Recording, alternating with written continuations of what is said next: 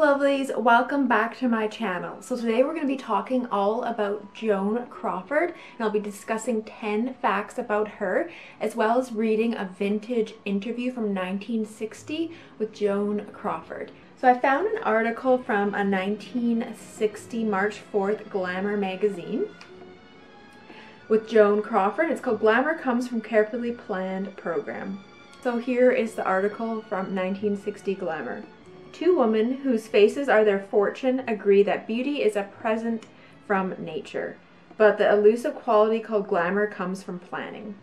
The two are Joan Crawford, a spellbinder in the grand manner, and Linda Lee Mead, who, as Miss America of 1960, is a relative newcomer to the field. The movie queen and the beauty queen met for the first time this week when Miss Mead, an English major at the University of Mississippi, came to New York for the annual Pepsi Cola convention. The beverage firm, which Miss Crawford's late husband Alfred Steele head, is one of the sponsors of the annual Miss America pageant in Atlantic City. Over soft drinks, the three of us sat in Miss Crawford's suite at the Waldorf Astoria Hotel for some girl talk on the ingredients of beauty, glamour, and sex appeal. Well, said Miss Crawford of the big eyes and red gold hair, I don't think that confection, like prettiness, that the candy box look is beauty. On the long haul, it's bone structure that counts, and that you're born with. Both dismiss the Brigitte Bardot types as something less than beautiful. Mill votes to that contrary. The baby doll face is not my idea of beauty, said Miss Mead. Nor is the unkept look. I'll tell you the first ingredient of glamour, says Miss Crawford. It's cleanliness. Amen, says Miss America, a 20 year old brunette who looked like she had just stepped from the shower.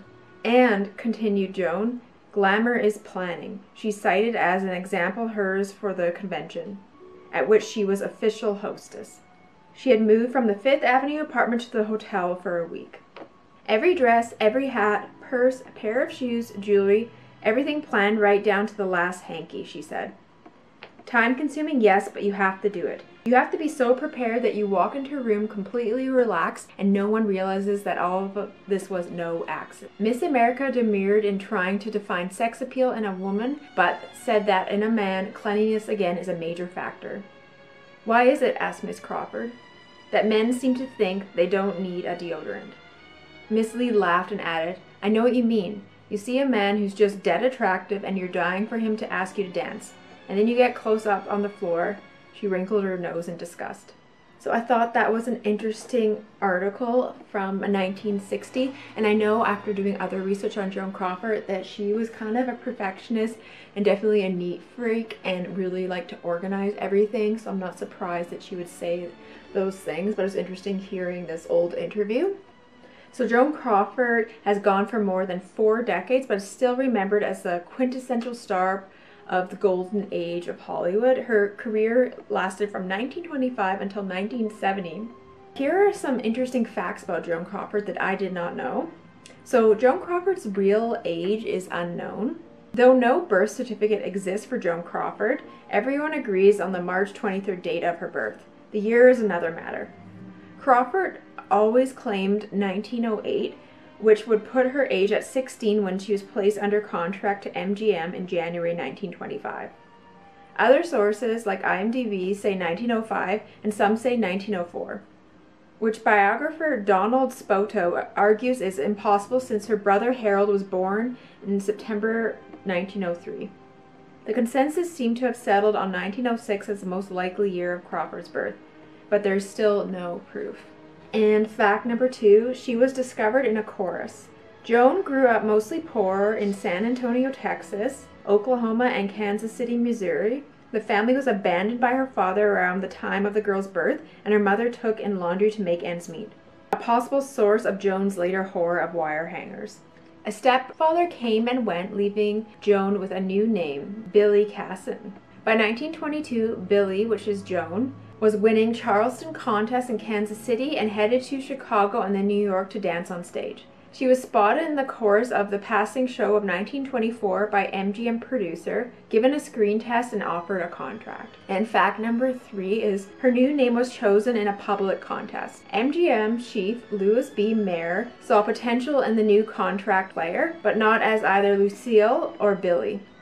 A $1,000 public renaming contest was announced, and the winning entry seemed to satisfy everyone except the bearer of the name, who thought it sounded like crawfish. Her good friend and sometime co star William Haines nicknamed her Crawford Cranberry. And the next fact is Crawford was a petite, freckle faced redhead. She seemed so big on screen. While the eyes and mouth were certainly large and vivid, but the woman herself was barely 5'3. As for the complexion and hair color, the freckles were erased with makeup and the hair changed with the role. In addition, Crawford was rarely seen in color until 1953's Torch Song, and by that time her appearance had reached a height of artificiality that rendered the question of natural hair color. It's true, I always thought Joan Crawford was really tall. She just kind of looks tall on camera. And the next fact is her connection with Clark Gable was possibly romantic. Even though she had four husbands and many lovers, Crawford was also close to Clark Gable. Gable co-starred with Crawford in eight movies, more than anyone else, and the two are rumored to have pursued an affair on and off for decades. They were certainly good friends, and when Gable's wife, Carole Lombard, was killed in a 1942 plane crash, Crawford took her scheduled role in the film They All Kissed the Bride and donated her salary to the American Red Cross. And the next fact is she used illegal baby brokers to adopt her children. Joan Crawford adopted three children, Christina and twins Kathy and Cindy, as a single parent which was prohibited in California. She used illegal baby brokers and traveled with baby Christina, who was born to a young unwed woman in Hollywood, to New York and Nevada to legalize the adoption. Her other child, a son, was adopted when Crawford was married to Philip Terry. For a brief time, the boy's name was Philip Terry II. When the marriage dissolved, he was rechristened to Christopher Crawford. And the next fact is she was labeled as box office poison. Though Crawford found a regular place in the top 10 money making star polls during the early to mid 1930s, in 1938, she, along with Marlene Dietrich, Greta Garbo, and Katharine Hepburn, were labeled box office poison by the Independent Theater Owners Association of America.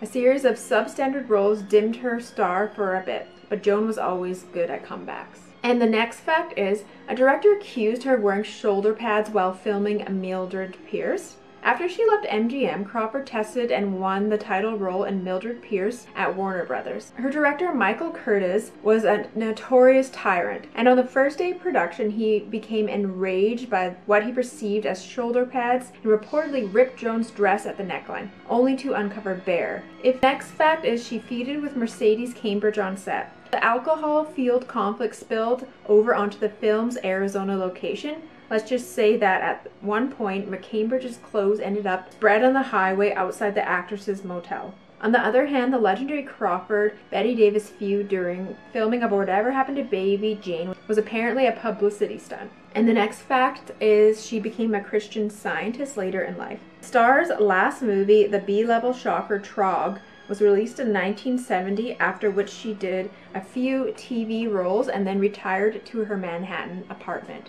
She became a Christian scientist and, according to some sources, stopped drinking. It was due to her faith and that she refused aggressive treatment for the cancer which eventually led to her death on May 10, 1977. She didn't have a great fortune to leave, but her twins were provided for, as were a number of charities. Fatefully, Christina and Christopher were not. And here are some famous quotes by Joan Crawford, and the first one is, I, Joan Crawford, I believe in the dollar. Everything I earn, I spend. And the next quote is, I need sex for a clear complexion, but I'd rather do it for love. I never go outside unless I look like Joan Crawford, the movie star. If you want to see the girl next door, go next door. I've always known what I wanted, and that was beauty in every form. And the next one is, send me flowers while I'm alive. They won't do a damn bit of good after I'm dead. And the next one is, love is fire, but whether it's going to warm your heart or burn down your house, you can never tell. And the next quote is I think the most important thing a woman can have, next to talent, of course, is her hairdresser. And the last quote by Joan Crawford is If you have an ounce of common sense and one good friend, you don't need an analyst. So I've always been fascinated in Joan Crawford and I love reading old interviews with her. So if there's any other things you want me to find out about her, let me know in the comments below. And thank you so much for watching. I hope you enjoyed this video and I'll see you guys again soon. Bye!